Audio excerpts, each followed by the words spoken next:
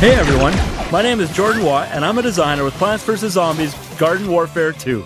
Today, I'm very excited to tell you more about solo play. In addition to traditional four player co op, our solo play mode lets you play by yourself with a team of up to three AI controlled teammates. In Garden Ops, your mission is simple protect the garden against the zombies. For this solo round, I'm choosing Popscorn, Electro Citron, Druid Rose, and Vampire Flower. When going it alone, the big difference is hot swapping.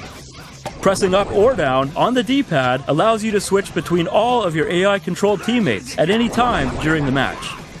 Let's meet the squad. This is Popscorn. Pop's nifty corn cracker has an enhanced zoom, making for more accurate firing from a distance. This is Electro Citron. He's from the future. Electro Citron's Electrocharger attack arcs from one enemy to the next. You can also hold down the trigger to charge up for more massive damage. In some instances, it might be a good idea to swap to a character like Rose, who has excellent crowd control talents, like her ability to cast a zombie freezing time bubble. And let's not forget, she turns zombies into goats. Then there's Vampire Flower. Her life leech ability steals health from enemies and adds it to her own. Hot swapping also lets you earn XP for all four of your characters during gameplay. All you have to do is hot swap to that character, and you'll earn XP while you're playing as that character.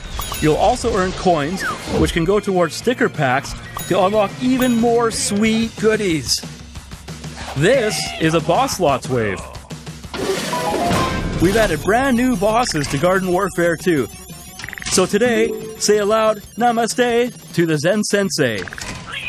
He's small, but don't be fooled because he packs a heck of a punch.